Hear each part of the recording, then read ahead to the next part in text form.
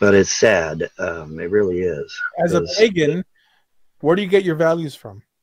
um, I get my values from just basically walking the walk, man. Um, Mhm. so I I believe I believe in the unnamed gods of the universe. I believe that they're with me and that they counsel me, which they do. And uh, you know, they tell me uh, what needs to happen, what doesn't need to happen, and by God, it comes to pass. So I mean, hey, you know, I'm batting a thousand. Are you able to tell when you're given bad information? Oh God, yes. You don't think I'm you don't think I'm approached by demons and evil spirits and and have thoughts put in my head without my consent? Of course, all the time. When you when you decide that you're going to fight against evil, you got to expect that. You got to expect that that it's going to come your way, and it does. What guide do you use to compare bad ideas against? Well, in paganism, in paganism, you you do have some bad elements that I call left hand path. Uh, left hand path pagans are the type of pagans that, well, they they're one of these people that does not believe in any specific black and white reference at all. Everything's a shade of gray to them. Many of them, sadly, uh, believe that they can invoke demons and evil spirits and that they can get these entities to do their will for me, I'm not one of those. I, I'm I'm what you would call a white lighter. I believe in in the light. I believe in in truth. I fight against evil. That's what I do. And uh, you know, a lot of people don't understand that there's that there's people like me that exist. There's good guys out there too. As And I religious seekers, we're typically people who say that what's good for us is good for others. How do you think a nation, a country could progress ethically if they were all pagans? Well, they would.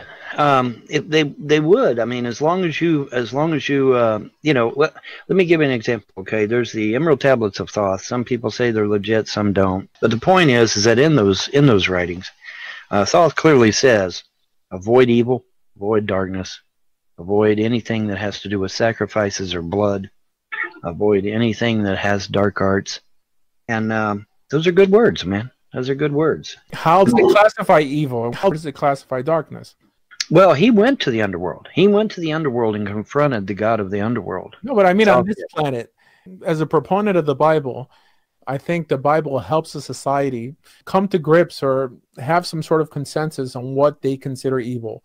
So Right. the citizens of that society will walk around saying, "We don't believe in murder." Ultimately, because we believe that God says it is wrong to murder. I mean, the Torah doesn't just say don't do evil, because the question is, what is evil? The Torah tells you what specifically to stay away from, and You don't think, Rabbi, that someone could have an object, uh, uh, could find that objective truth with without without uh, I guess you're saying without Hashem. if they could, they haven't on a grand scale. I wish there was. I wish there was a more ethical system that outdoes the Bible or outdid the Bible historically to give me an option to expand my belief or give me another path to Do follow. you do do you mean that, Rabbi? Absolutely. I am not married to Judaism. Okay. I Okay. will convert to any other belief system that makes me a better person. However, oh. we have to take history into account. Wait, what, uh, dude, uh, dude, I'm an amateur cryptozoologist. I'm an amateur historian. Believe me, I take history into account. Okay. That's why you notice I'm not a Muslim today. Wow, you Okay, notice that? Yeah, there's a reason for that.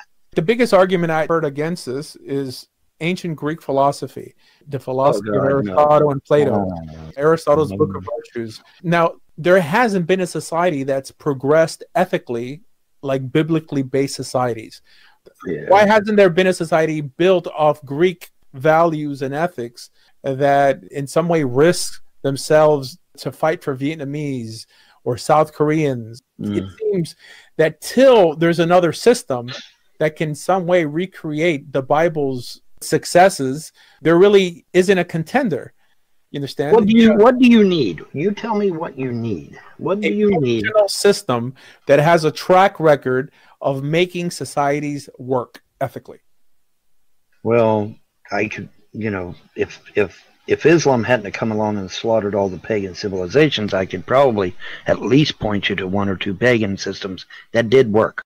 Unfortunately, Islam came along and slaughtered them all, so there's not really a whole lot I can show you. I'm a big uh, fan of Lord of the Rings. Lord of the Rings, that's a good Yeah, analogy. but again, we don't know about them. Like you Right. said, they may have been lost, but I think for someone to truly claim to be an authentic seeker of light, he has to be willing to drop his current belief system and adopt something one that that's works better. Right. Yeah. And that's exactly what I've done. I, I that's exactly what I've done. Believe me, dude, I've made the rounds. I've I've been in Buddhism, Confucianism, uh, Christian. I was even a Satanist for a while, believe it or not. but you haven't been a Jew. And I, I haven't been a Jew. Because those 600 laws, man, you know, those 600 laws, yeah, no, I can't do it. Those are all the laws, but a lot of those laws don't. That isn't all of them? No, no, no. I There's mean, probably over a thousand actually. there's really only around 250 laws That you really need to worry about, right? to men. I got Because you. some of those laws only apply to women. Some of those laws only apply to priests. Some of those laws only apply in the land of Israel. Mhm. I think it was the Chafetz Chaim who broke it down. I think he said there's around 250 laws that apply to men nowadays, males. Right. And I think it's a good amount. It's not just laws; it's commandments that appear in the five books of Moses. So you Well, can read straight through it. Let me let me ask you this, Rabbi. What if what if I'm a trailblazer? What if what if the gods have pulled me out of the muck in order to be a trailblazer and to start something new? Because sometimes I get that feeling. Sometimes I get that feeling. I really do. You know, because I mean, let's let's look at what I was. Let's go back to what I was. I was 115 pounds, soaking wet with rocks in my pockets. I was sick all the time. I, you know, I, I could not fight my way out of a wet paper bag. I was not spiritual in any way. And, you know, the gods are like, you're it. You're the one we want. And I'm like, yeah, what? What? you know, uh, and now look at me now. You kind know, of sounds like totally the story of King David with the prophet. It's like, where's your different. other Well, son? exactly. You The- know, what do you mean, the scrawny one with the sheep? Yeah, get the him scrawny one with the sheep yeah you know and and you go and when you that's what that was what really uh, blew my mind is is they showed me they took me to a library and said here grab these books and look at them and i look at them i look at all throughout history where the gods would see the the weakest sick sickliest person they could find and say yep that's the guy we want right there. And and they've done this all throughout history every single time all throughout history. And i'm like that's me. And they're like yeah man you're the one dude. You're it. And it's funny too because the name Vonhelton means from a bright sound in german. Hell being sound hell is not the the place in german. Hell is is is is a is is a, is a sound. Oh, okay or a, a bright uh, hell is bright and and tone is is a noise. Okay so it's a bright noise. Well what what is a bright noise? That's a herald. That's somebody that is heralding the coming of a thing. All right? That's what a bright sound is. It's a herald.